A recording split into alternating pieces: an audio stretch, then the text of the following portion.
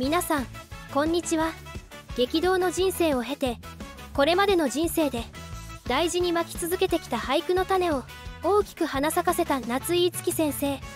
プレバトの俳句コーナーでも注目を集めていますよね。全身からにじみ出る豊かさ。そこから生まれる美しい言葉の数々。今回は博報堂出身の現在の夫金健康さんと夏井月先生の結婚。再婚までの馴れ初めや現在に至る夫婦円満の生活ぶりお孫さんとの関わりについて病気だと噂されている件について調べました。また過去の離婚や苦労なども俳句にしているようなのでそちらについてもご紹介いたします。夏井月先生は1957年5月13日生まれ愛媛県出身の俳人です。実家は明治時代から続く特定郵便局で夏井月先生の幼少期まで局長を務めていた祖父は近隣の家庭で子供が生まれるたびに子供への命名を託されるほどの名士であったそうです。夏井月先生の本名の樹も祖父がつけたのだとか。1980年に京都女子大学文学部国文科を卒業し国語科教諭として中学校で働いていました。1982年25歳の時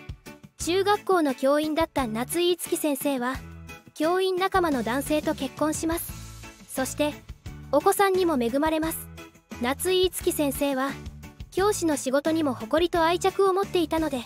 仕事と家庭を両立させながら働いていました。そして結婚後一男一女2人のお子さんを授かります。夏井月先生の第一子は娘さんでお名前をふみさんと言います。第二子の息子さんが雅人さん。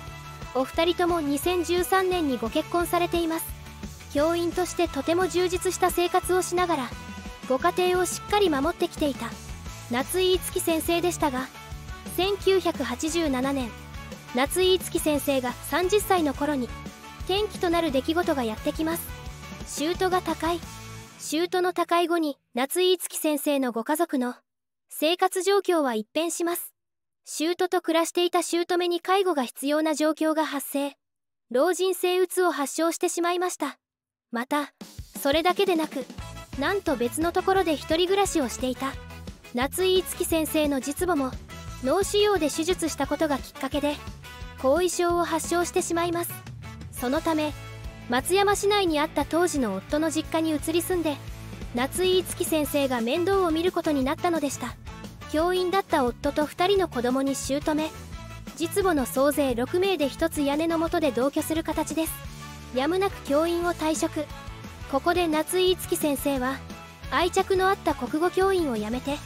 俳句一本で生きていくことを決意します。教師時代から仕事と家庭を両立させながら唯一の趣味として独学で俳句をたしなんでいた夏井月先生は1988年の31歳の時に宣言通り俳人に転身。黒田桃子先生に指示しながら自宅のある松山を拠点に俳句を本格的に手掛け始めました。教員を退職した翌年ですからすごいスピードでの実現です。1997年には俳句集団五木組を結成するとともに組長へ就任。全国の小中高生を対象としたカリキュラムの一環として深いライブという俳句教室を開催しました。教員を辞め俳人として新しいスタートを切った。夏井月先生でしたが困難は続きます。夏井月先生の姑実母を含む総勢6人での同居生活は大変過酷な状況を引き起こしとにかく姑と実母がうまくいかないことが家族全体に大きな影響を及ぼします。その状況に好転する兆しは一向に見えずそれどころか次第に繊細だった。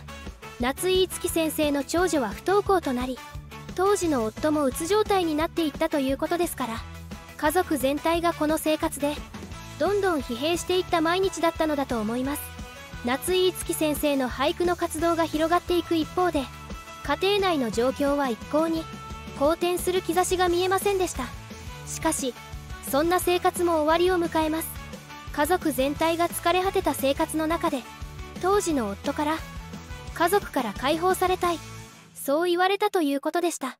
この一言で夏井月先生は離婚を決意し家を出て子供2人と実母との4人生活をアパートで開始したのだそうです。すでに夏井月先生が教員を辞めてから13年の時が過ぎた。2000年43歳の時の出来事でした。この新しい門出が結果的に夏井月先生の輝かしい人生のスタートとなります。ここで現在の夫である夏井月先生の旦那さんを先にご紹介したいと思います。夏井月先生の現在の夫の金健康さんは1949年生まれで夏井月先生よりも8歳年上です。きっかけはもともと夫の金健康さんが夏井月先生の俳句会にも出席するくらい。夏井月先生のファンだったそうです。夏井月先生の開く俳句講義にも欠かさず出席し金健康さんは講義にいつも楽しそうにそして話している時にも笑顔を欠かさなかったのだそうです。また金健康さんは当時博報堂関西支社にお勤めだったということで夏井月先生へネット TV のオファーのため大阪から松山まで何度も通っていたのだそうです。金健康さんはマロ兄ちゃんなどの CM を手掛けた。優秀な CM プロデューサーだったそうです。夏井月先生へ依頼した番組は配信されることはなかったようなのですが何度か夏井月先生にお会いしてそのお人柄に触れるうちに人間として面白いと夏井月先生を見ていて感じたそうです。夏井月先生の金健康さんに対する第一印象がいかにも業界人という感じやな。もちろん最初は金健康さんも本当に夏井月先生にテレビ番組を依頼し実現しようという目的で来られていたのかもしれませんがその企画もどうやら幻となってしまったようです。企画内容は作家の中島ラモさんとの対談。夏井月先生は中島ラモさんに興味があったのですぐに引き受けました。ところがそれから間もなくラモさんがお亡くなりになりその番組は幻となってしまったのです。しかしその後も金健康さんは夏井月先生とつかず離れず連絡は取られていたようである日夏井月先生が遭遇した台風アクシデントの救世主となります。その日仕事で見えにいた夏井月先生でしたが翌日出演する番組の生放送までに四国へ帰らなければならない状況下で大阪まではたどり着けたもののあらゆる交通網が遮断され立ち往生してしまうことになりました。その日たまたま夏井月先生の事務所に連絡を入れていた金健康さんが大阪の宿の手配などを急遽サポートしてくれたのだそうです。結局台風のために翌日の生放送に出る必要もなくなりました。宿泊先も確保でき急に心が楽になった夏井月先生は金健康さんとその晩一緒に飲もうということになったそう。飲みながらええ人やなありがたいなと思ったもののその時はそれ以上の感情があったわけではありませんでした。その頃の夏井月先生自身は前夫との結婚生活にだいぶ懲りていたこともあったのか夫の金健康さんに出会う前後はこんな風に思っていたそうです。もう一度結婚するなんて冗談じゃない。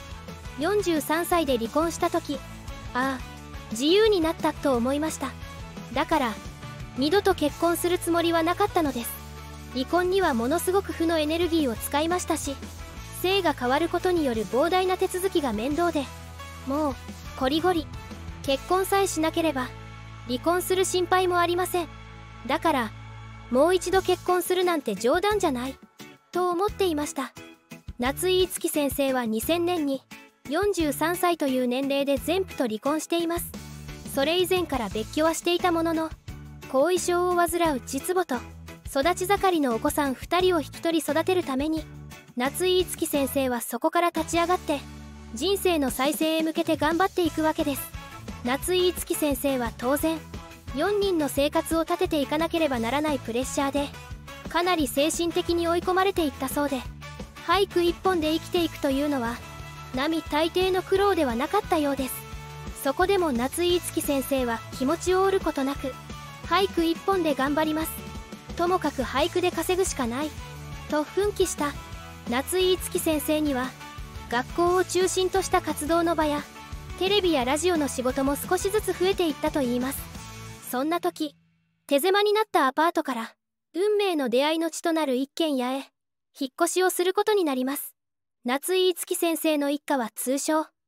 みゆきハウスでの新しい生活をスタートさせます。ここで夏井月先生と現在の夫となる金健康さんとの関係も発展することになるので縁起のいいお引越しだったようです。夏井月先生はたくさんの人に俳句の楽しさを知ってもらうため俳句の種をまく活動を松山市周辺でこの頃から言っていました。その活動の中で市内の学校にも繰り返し通うことになり夏井月先生はある時